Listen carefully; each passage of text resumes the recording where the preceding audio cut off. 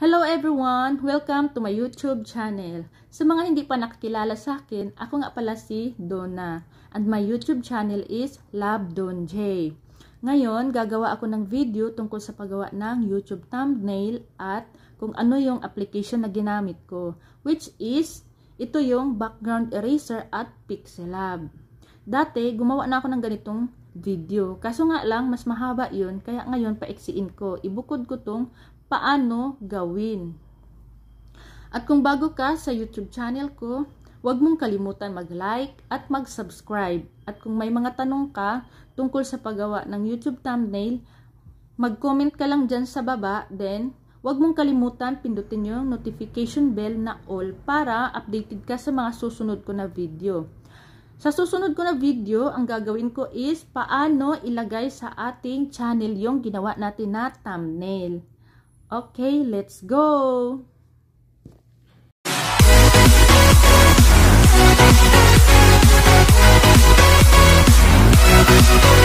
Una natin gagawin, mag-download tayo ng application sa Play Store, yung kailangan natin na apps. Click natin. Ayan. Unahin natin i-download yung background eraser. Type nyo lang din search. Ayan. Ito yung ginagamit ko na background eraser, ganyan itsura niya. Then, type natin yung Pixelab. Download nyo lang. Ayan, search. Uh, ito din yung ginagamit ko na Pixelab. Ganyan itsura niya. Then, download nyo lang. Since meron naman akong ganyan na mga apps, i-open na lang natin. Unahin natin puntahan yung background eraser. Dito sa load photo, yan unahin yung itap load photo. Diyan, maghanap kayo ng mga picture na gusto nyong i-cut. Pwede din kayo mamili sa drive, gallery, sa my files nyo, at saka sa photos nyo. Ang pili tayo dito sa gallery. Halimbawa, gallery ang pindutin natin. Ito yung pipiliin ko na picture i-cut. Ayan, tap nyo lang, then ganyan lalabas. Depende na sa inyo kung ano, gaano kalaki yung picture na gusto nyong ilagay. Ako, gusto ko kalahati lang sa picture na yan. Ayan. Then, tap nyo yung done sa taas. Click. Ayan. Diyan, dito na kayo mag-umpisa mag-cut. Ito, nakita nyo, dalawang bilog na pula. Pag pinindot nyo yan, halimbawa yan, hinawakan nyo, ayan, di ba nagsusulat siya? Para maiwasan, magkalat siya ng sulat dyan. I-click natin siya dito sa may bandang taas. Dito, nawala yung picture mo. Ayan, lipat natin. Ayan. Ba nalipat na siya dito siya. Tapos, para mawala din yung sulat na nalagay mo nung una, nagkalat, ito, nakita nyo, itong arrow sa baba, yan ang pindutin nyo kasi yan yung pang pawala ng sulat. Ayan. Ayan, pindot na siya, nawala. Then, mag-umpisa na tayo mag bura ng background. Dalawa ang pwede nyo pagpilian. Pwedeng auto gamitin nyo or manual. Ako ginagamit ko is manual talaga. Pero pag una, yung, pag mas mabilis yung pagbura ng mga background na ito, ito, ito, ito, yan. Pinipili ko yung automatic. Itong auto, pindutin mo lang. Yan, ayan na siya. Ayan, tap mo lang. Ayan, mabubura na yung mga ano dyan, background na gusto mong burahin. Ayan. Then, tap mo yung manual. Ayan. Ayan. Clear mo, clear mo siyang maigi. Then, cut natin yung picture. Alisin natin yung mga sumusobra na mga kulay, mga background. Ayan. Itap nyo ng maayos. Wag, iwasan nyo na malagyan ng shadow kasi pag ano, pagtapos niyan, pag nakat na siya, pangit tingnan eh pag may shadow. Yan, tap nyo lang ng maigi. Ayan. Yan, burahin. Di ba Parang mas mabilis pagka ano eh, pag manual.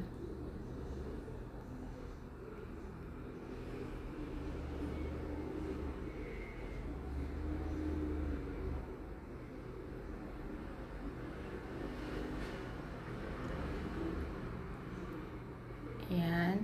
Ayan, okay na siya.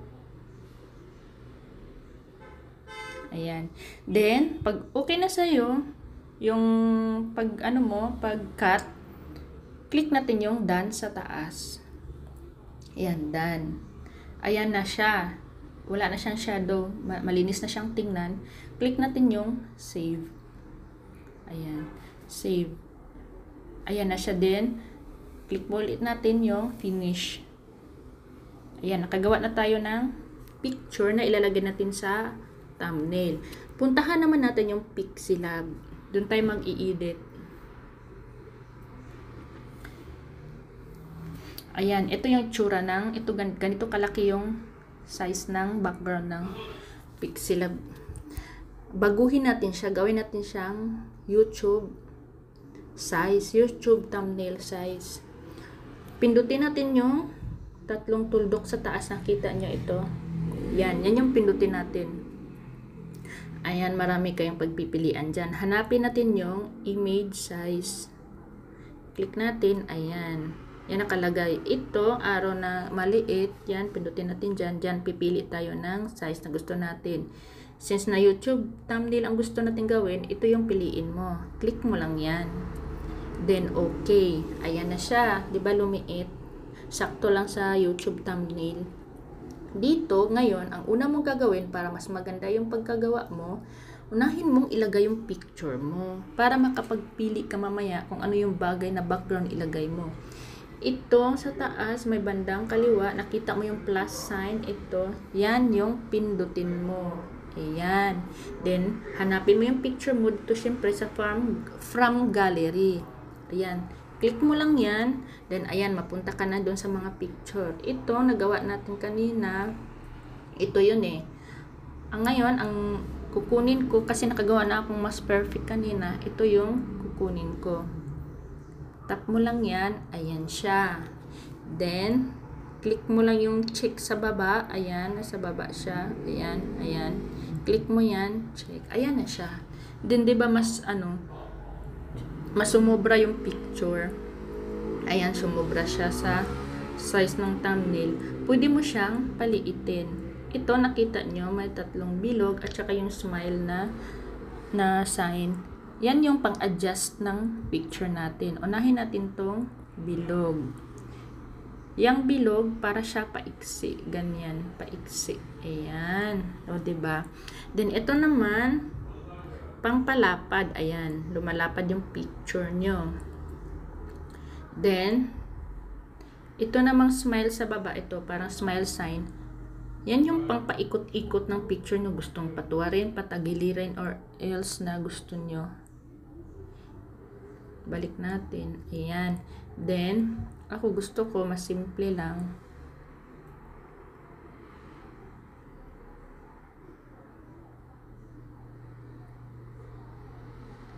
Ayan, ayusin lang natin. Pero sumobra naman yung banda sa ulo. Ganyan. Kayo na bahala kung ano yung gusto nyo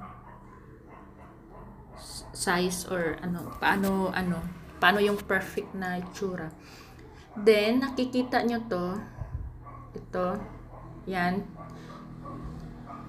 Di ba lumabas yan nung pagka-open natin ng Pixelab, lumabas yan. Diyan ka mag-type ng gusto mong ilagay na title ng iyong thumbnail. Pindutin natin ng dalawang beses. Tap nyo dalawang beses, ayan lumabas. Burahin nyo, then, sa kanya na ilagay yung title ng inyong thumbnail. Ako, ilagay ko dyan is create thumbnail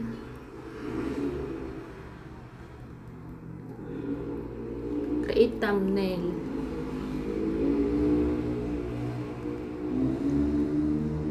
using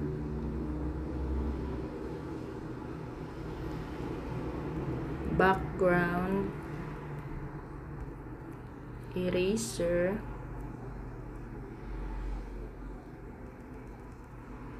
And pixelab. Ayan. Then tap mo yung okay and nasa di ba sobrang dami sobrang laki.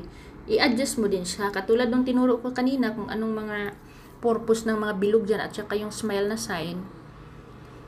Yan yung pang-adjust, diba? Yan, adjust mo lang siya. Yan, paliitin mo. Ayan. Dito sa gilid, sa may bandang kanan, yan, palaparin mo. Ayan. O, diba? Ayan. Ikaw na bahala kung ano, paano mo ilagay, kung ano yung mas bagay. Ayan.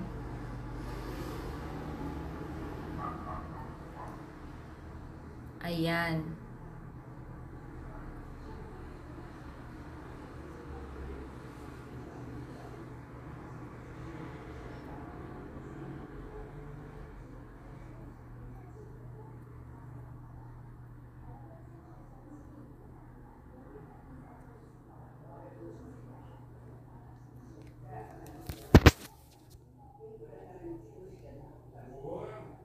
Ayusin lang natin kasi parang pangit.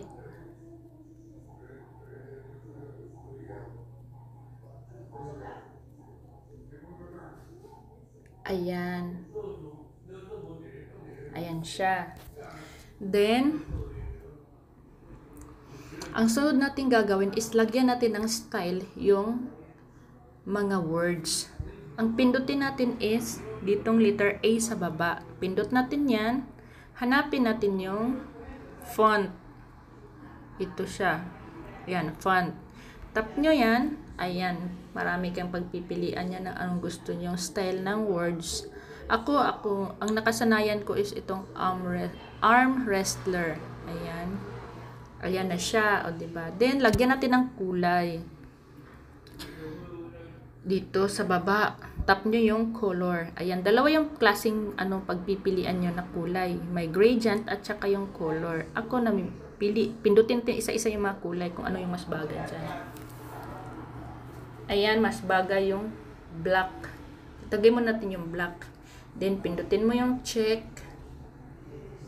Ayan, check. Okay na siya. Then, pipili na tayo ngayon ng background. Dito sa bandang baba, pindutin nyo to, ito, dalawang ano, dalawang square. Pindutin nyo yan. Then, pindut uli yung image. Ayan. Ito na yung mga background. Ayan. Ayan. Ayan. Select nyo kayo gusto nyo yung background dyan. Pindutin din isa-isa. Tingnan natin kung ano yung mas bagay. Ayan. Ayan. Pwede rin ganyan.